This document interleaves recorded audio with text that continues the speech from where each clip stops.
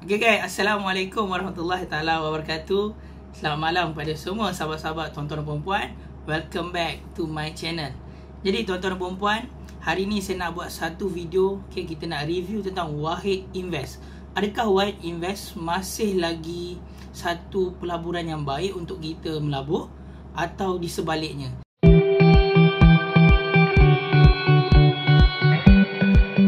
Okay guys, so kita akan pergi dekat apps uh, Wahid Invest. So siapa yang belum lagi buka Wahid Invest, okay, anda boleh tengok tutorial saya sebelum ni, okay. Dan anda boleh tekan je link kat bawah ni untuk anda buka account Wahid Invest, right? So kita pergi dekat apps Wahid Invest, okay. Kita akan pergi, right? So kita akan pergi dekat Wahid Invest punya uh, apps, okay. So kita tekan. So dia akan keluar macam ni Letak email, password Okay? So saya lebih mudah uh, Login menggunakan touch ID lah. Okay. Ui, fail.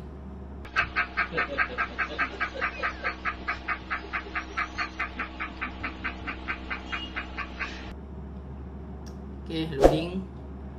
Alright, so inilah uh, Wahid Invest uh, Saya. Okay, uh, sekarang ni Kalau anda lihat Okay, anda lihat Bersama-sama So saya dah profit RM162.88 sen. Okay hari tu saya uh, modal saya 2000. Okay. Uh, saya dah withdraw beberapa beberapa uh, apa duit, okay, duit dekat dalam YMS. Saya withdraw 100 masa tu. Okay. So sekarang dah jadi RM2253.88 sen. Okay. So account ni uh, yang baru-baru yang beberapa bulan yang lalu White Invest ada update ataupun upgrade dia punya sistem. So kita boleh buat uh, beberapa account okay? So kalau anda tengok kat sini building world buying a home kan? Uh, apa? Anda boleh tambah kat sini. Add a new account. So anda nak nak buat uh, sim, pelaburan ataupun simpanan duit anda dalam White ni untuk kahwin ke untuk beli kereta ke uh, anda boleh klik lah dekat sini okay? Uh, so saya tak nak banyak lah Okay, pening. Bila kita tahu banyak sangat portfolio, so kita pening nanti. Okay. So, anda boleh scroll ke bawah. Okay, apa yang kita nak tengok dekat bawah ni. Okay. Uh, okay, itu yang ada. Okay, tak ada apa yang upgrade lagi. So, tekan je. Okay, uh, kita punya account yang kita deposit tu. Right. Okay. So, kita tengok. Okay, uh, chart dia terus meningkat. Uh, nampak kan? Chart dia terus meningkat. Okey uh, nak ni kita boleh tengok kat sini. Kita boleh filter dia. Okey daripada 6 bulan ni. Nampak? So dia lebih lebih baik lah. Okey uh, yang bawah ni kalau anda tengok okey yang bawah tu adalah uh, kalau kita uh, simpan sendiri ataupun kita melabur dekat mana-mana unit amanah yang yang rendah. Ha, so dia compare kan macam itulah. Okay. So selama kita punya 6 bulan ni dah meningkat sebanyak 13.9 eh 13.2 13.29%. Okay, ROI dia iaitu return on investmentnya. Okay, so lebih better lah daripada investment-investment uh, unit trust unit trust yang lain. Okay, jadi uh, target saya untuk account ni adalah 10,000 okay, kita letak target 10,000 dalam jangka masa yang 5 tahun ke 10 tahun macam itu. Tapi uh, apa yang saya lihat okay, bila kita tengok sini okay, percentage dia bagi 13% okay, uh, selama berapa kita filter tadi? 6 bulan kan okay. so baiklah lebih baik daripada uh, unit-unit amanah yang lain yang boleh pulangan sebanyak uh, 5 2 tahun, setahun kan. So, White Invest adalah satu pelaburan yang baik. Okay. Jadi, macam saya, saya letak macam tu sikit langsam. Sebenarnya, teknik yang mudah untuk kita uh, invest dalam White Invest ni adalah kita buat monthly. Uh, macam uh, ASB, okay, kita letak tiap, contoh tiap-tiap bulan kita bayar berapa ASB kita. So, kita kena buat macam itu juga untuk kita datangkan pulangan yang lebih baik. So, macam saya ni kurang baik lah sebab saya bila sekali dua kali saya baru masuk okay so buat monthly alright so kita tekan ni okay anda boleh tengok target kita 10000 dah achieve sebanyak 2253 ringgit okay So nak dapatkan 10,000 lagi 7,746 ringgit. Okay. Uh, target saya oh target saya 2022. Alright. Uh, okay, patah balik. Okay, patah balik. So tengok dekat bawah ni. So anda pergi dekat position tu. Okay, dekat position tu. So saya punya account ni adalah agresif tuan-tuan. Okay. Saya tak tukar lagi. So account saya ni uh, lebih duit dia lebih di trade dekat stock uh, US okay, sebanyak 47.67%. So duit saya sebanyak 1000 okey kita tekan dulu. Okey masuk di trade uh, dilaburkan duit kita ni dekat Wahid FTSE USA Syariah. Ah uh, inilah tempat duit kita dilaburkan. Alright. So position value kita sebanyak RM1074.50 tu adalah cost ataupun modal yang dilaburkan situ. So dah running profit sebanyak RM243 kan? So uh, so percentage dia 47% okey so kalau kita tengok performance dia kat atas tu kita boleh tengok uh, ada 6 ada M tu adalah monthly 6 bulan maksudnya. 33.77% setahun 19% okey uh, 2010 dia berjaya buat 234% gila babe gila memang gila stok ni ah stok ni right So uh, memang mantap lah kan mantap. Okay so seterusnya dia juga ada Allah balik. Okay dia ada trade kan duit kita yang dekat suku. Okay suku ni adalah satu pelaburan uh, suku ah suku ataupun bond. Okay suku untuk Islamic bond untuk uh, conventional. Okay kita tekan.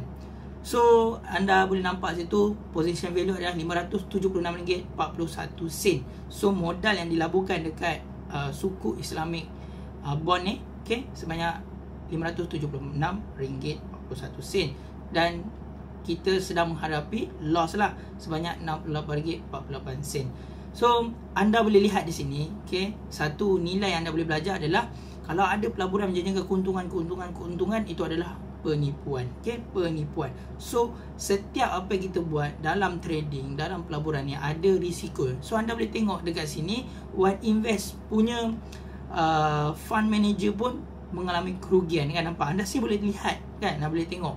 RM68 rugi kan? Tapi bagaimana kita meminimaliskan kerugian? Alright. So seterusnya dekat Malaysia stock pun ada. Kalau anda lihat kat Malaysia stock okey? Apa ni? Okey? Sebanyak 14% uh, dah running. Uh, okey dah 14% dah running. So RM320 modal yang dilaburkan dekat Islamic dividend ni so kita dah loss sebanyak RM23.26 ha, anda boleh tengok kan? Fund manager pun ada loss. Kan saya trade pun saya ada loss tapi macam mana kita meminimiskan kerugian tersebut? Okay. Dan Wah Invest pun ada laburkan duit saya ni dekat gold dekat gold okay? Sebanyak RM200 tu. So kita tekan okay kita tengok. So RM227 modal dilaburkan untuk pasaran gold ni okey iaitu sekarang tengah negatif RM1.30 maksud tengah rugi sebanyak RM1.30 dekat portfolio. Belum betul lagi okey belum betul. Masuk tu dekat portfolio kemungkinan dia akan naik ataupun mungkin akan turun lagi. So kita kena tengok chart dia lah. Okey uh, sebanyak sekarang ni 10% alright so cash uh, RM54 so cash ni yang tak dilaburkan lagi lah. Alright. So itu cara untuk kita tengok di manakah duit kita dilaburkan. Okay, so sekarang ni apa yang saya nak beritahu tuan-tuan dan puan saya nak keluarkan semua duit saya ni. Okay, bukan semualah, saya akan tinggalkan uh, keuntungan sikit mungkin RM100 ataupun RM150. So saya akan keluarkan RM2100 uh, macam itu. Okay, saya akan keluarkan saya akan invest ke tempat yang lain. Okay, so mungkin nanti bila saya ada kemampuan sebab saya banyak pegang portfolio-portfolio stock market, okay, uh, gold, forex, okay, uh, saya masih uh, belum lagi belum kukuh sebab banyaklah perbahasan tentang kripto ni okey tapi saya masih belajar-belajar lagi lah. Right. So uh, saya banyak dekat stock market okey bursa Malaysia dengan forex okey so benda tu saya nak invest dekat situ. Okey duit yang ada ni untuk saya gandakan lagi dan saya akan masukkan tiap-tiap bulan di Wahid Invest. So nanti saya akan update kepada anda macam mana cara untuk saya trade tiap-tiap bulan tu. Apa yang kita nak kena tengok kan? Sebab ada yang komen okey ada yang komen macam mana kita nak deposit bila dia jatuh nak tahu dia jatuh kan? Anda boleh tengok ni. Okey komen tuan ni nak tahu macam mana bila jatuh kita nak deposit okey so banyaklah kita kena belajar. InsyaAllah saya akan buat satu persatu untuk anda bagaimana cara untuk kita trade wire invest ni dengan cara yang betul. Okay. Dan sekarang ni saya nak withdraw semua. Okay. Bukan semua lah. Uh, sebahagian lah. Okay. So kita akan withdraw sebahagian. Okay. Tekan sini. Okay. Kalau anda tengok referral. So anda boleh join referral saya. Okay. Putnur. Ha, nampak? Comel lah nama tu. Putnur 1. Okay. Uh, dekat link description ni ada. Hmm, masuk balik. Tak silap saya kena masuk balik. Okay. So anda boleh nampak dekat bawah tu ada funding. Okay. Ada satu section ataupun satu kolom untuk deposit or withdraw fund. So kita tekan withdraw fund. So kita tekan withdrawal. Okay. Uh, partial ni maksudnya sebahagian full ke kita nak keluarkan semua. So, kita partial ni. Okay. So kita keluarkan 2100 letakkan account holder name. Nama kita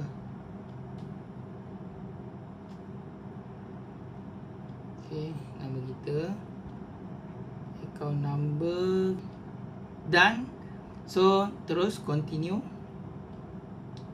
Ok review sambil draft money to your account bank ok 1100 CIMB Okay, submit. Okay, so transaksi sekarang dah berlaku withdrawal. Okay, so anda boleh tengok situ dalam processing.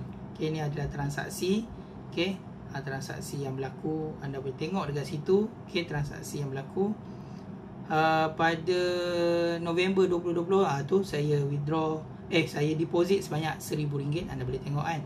So, masa September tu pun saya try. Dia fail. Ah, saya pun tak tahu mungkin sistem dia. So jangan risau anda boleh cuba lagi. So saya akan update nanti. Uh, sekarang kita dah withdrawal pada 11 uh, Julai okay uh, 6 Julai. So kita dah withdrawal. So kita update. Berapa, uh, berapa lama masa yang diambil untuk withdrawal ni? So kita tak tahu update yang terkini upgrade yang terkini uh, berapa lama masa yang diambil untuk withdrawal. So itu saja video untuk kali ni. So sekiranya anda ada komen ataupun cadangan anda boleh komen dekat ruangan komen YouTube saya ni dan jangan lupa tekan button subscribe dan lonceng tu untuk saya bersemangat upload video yang bermanfaat untuk anda. Jadi itu saja daripada saya.